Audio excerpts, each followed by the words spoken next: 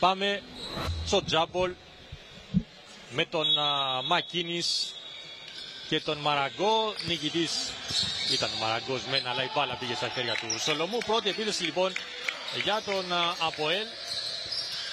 Τον Γιωργακούδη να κρατάει μπάλα και θα βρίσκει ωραία το Σολομού που θα βάλει το πρώτο καλάθι του αγώνα 0-2. Ο Τζέικος πάει μέχρι το lay-up και θα σκοράρει για να ισοφαρίσει 6-6. Αφήνει στον Τάλτον. Το Σκίνερ για τρεις είναι εύστοχος. Καλυπευρά ο Σολομού θα πάει μέχρι το καλάθι, θα πάρει το φάουλ και θα σκοράρει κιόλας. Ο Τέιλορ άραξε με τον Χόρτον. Παλασόν Βάρσο έκανε ωραία την προσποίηση, το σου ήταν για δύο, άστοχο όμως. Θετικό rebound από τον Χόρτον που θα πάει στο layup και θα ισοφαρίσει. 15 όλα. Βασίζεται αρκετά σε τρεις Κύπριους μέσα στο παρκέ.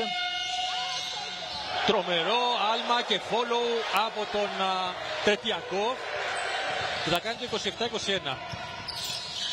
Ε, προς στιγμή ε, νομίζω ότι είναι η φάση του αγώνα ενώ έχουμε τρίποντο απάντηση από την ε, γωνία ο Γιανναράς. Ο Σολομού είναι αρκετά αθλητικός, αλλά ο Τέιλορ είναι, είναι τεράστιος, είναι παιδί με τεράστια εμπειρία. Δύσκολα θα μπορέσει να τον περάσει, να τον κερδίσει στα πόδια. Ο Βάσος σουτάρει για τρεις και ευστοχεί. 42-30. Step back και σουτ για τρεις απατάει ο Τζέικομπς στον Χόρτον που πάει προς το καλάθι. Ανάποδο lay-up.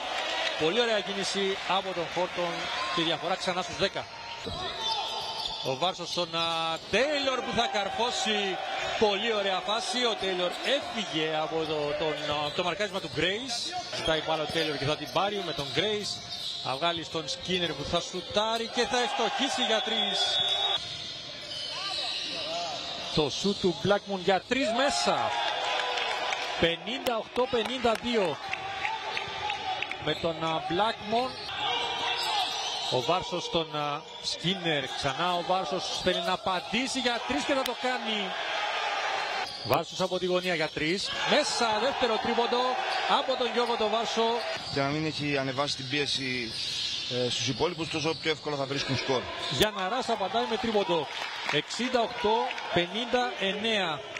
θα δώσει γρήγορα και κατάφερε να βρει τον Μακίνης αυτός θα στοχίσει αλλά θα κάνει το follow 68-63 και έχουμε time out τώρα από πλευράς ανόρθωσης.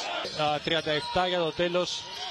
Εδώ άλλο ένα λάθος. Αυτή τη φορά ο Μπλάκμον θα κλέψει και θα σουτάρει για τρεις. Μπήκε, βγήκε η μπάλα. Τρομερό follow από τον Μακίνης. 70-65. 70-65 παραμένει. Τώρα ξαναπάει προς το καλάθι ο Τζέικοφς που θα σκοράρει και θα πάρει και το φάουλ.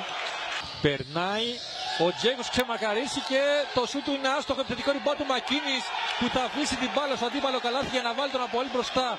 70-71. Έγινε η επαναφορά, η μπάλα έξω στο Μόσα. Άλλαξε με τον Σκίνερ, Μόσα για τρεις, μέσα, μεγάλο τρίποντο από τον Ζέιτ Μόσα, 73-71. Άρα έγινε η αλλαγή στο μαρκάρισμα, Τζέικοψε να το εκμεταλλευτεί, ο Πλακούν για τρεις, μέσα, 73-74. Τεράστια σουτ στα τελευταία λεπτά και από τις δύο πλευρές. Όχι λογικά, αυτό θα κάνει. Βάρσος. Κρατάει ο Βάρσος. Τέσσερα δευτερόλεπτα. Θα βρει τον Ντάλτον. Θα κλέψει ο Μακίνη, ο Μπλάκμον. Ο Μπλάκμον με το κλέψιμο σφραγίζει την νίκη του Αποέλ.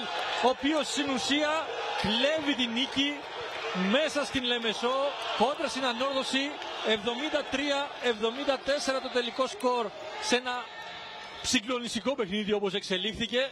Η ομάδα του ΑΠΟΕΛ θα πάρει σημαντική νίκη και θα παραμείνει αίτητος μετά από τρεις αγωνιστικές έχοντας παίξει δύο πολύ δύσκολα παιχνίδια με ΑΕΚ και ε, ανόρθωση.